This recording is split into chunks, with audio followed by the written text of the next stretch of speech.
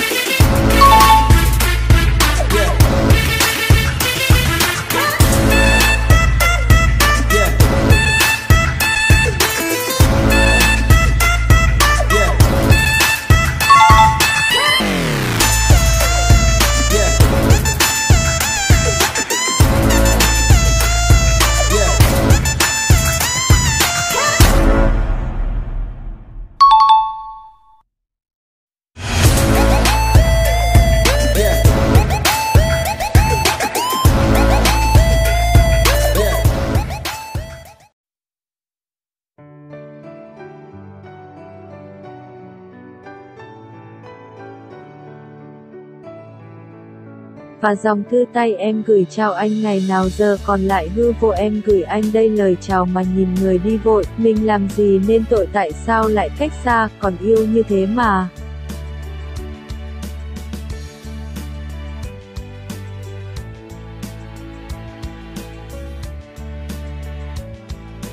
Hồng trần trên đôi cánh tay họa đời em trong phút giây từ ngày thơ ấy còn ngủ mơ đến khi em thở ơ ở lòng người anh đâu có hay một ngày khi vỗ cánh bay từ người yêu hóa thành người dương đến khi ta tự xưng là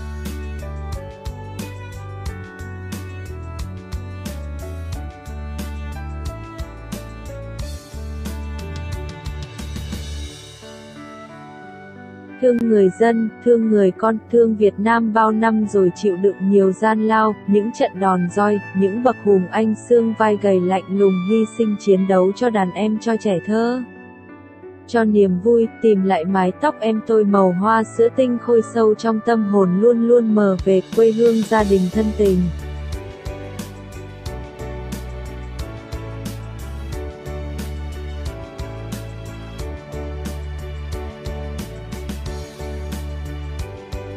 Chờ gió lên thiêu bồng, mà em thêm hồng, phút giây thêm nồng, chợt khắc ghi trong lòng, thành phố lấp lánh đến thế vậy mà vẫn có nhau, nhận thấy ấm áp cũng dễ chẳng hề mà khó đâu. Vì nắng có trói đến mấy chẳng bằng màu mắt em, màu hoa thiên lý ôi mơ màng.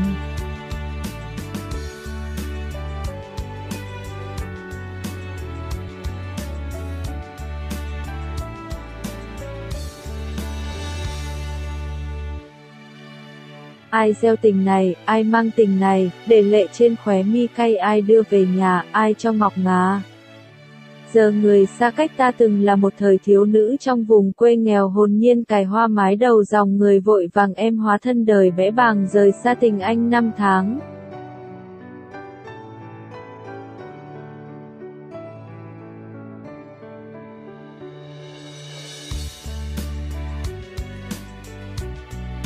Đã có lúc ấm áp đôi tay, cùng nhau nhìn lên trời cao đến phút cuối em bước ra đi, làm sao để giữ được em tìm hoài hình bóng lúc ấy, tìm hoài cảm giác bối rối.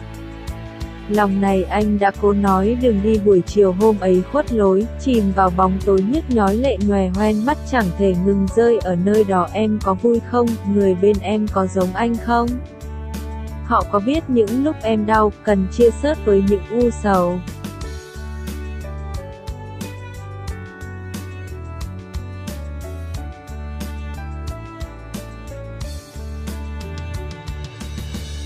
Và đêm phương Nam nghe dòng sông nước chảy à a à, quê tôi Bến Tre, nơi có sông.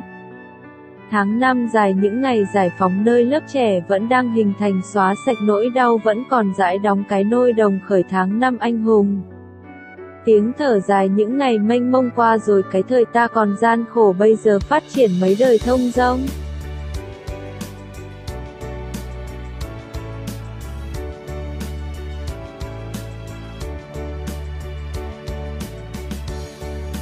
Có những chuyện dường như cục kỹ anh chưa bao giờ ngồi xuống tâm sự với ai cả, cũng như cách em rời xa anh một cách lặng lẽ, nhưng mà không sao đâu, quá khứ là quá khứ, còn hiện tại em đang êm ấm bên người. Khác đừng buồn khi không có anh bên cạnh và đừng khóc khi ta gặp nhau giữa phố.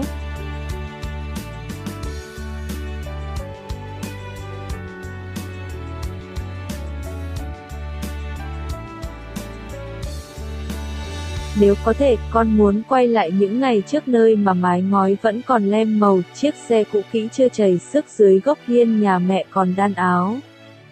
Ánh nắng ban chiều vàng lay đưa mẹ kêu con chạy ra ngoài đồng ruộng hỏi xem ba nhậu giờ say chưa, ai có dép đức và mủ bể đồ bán hôn.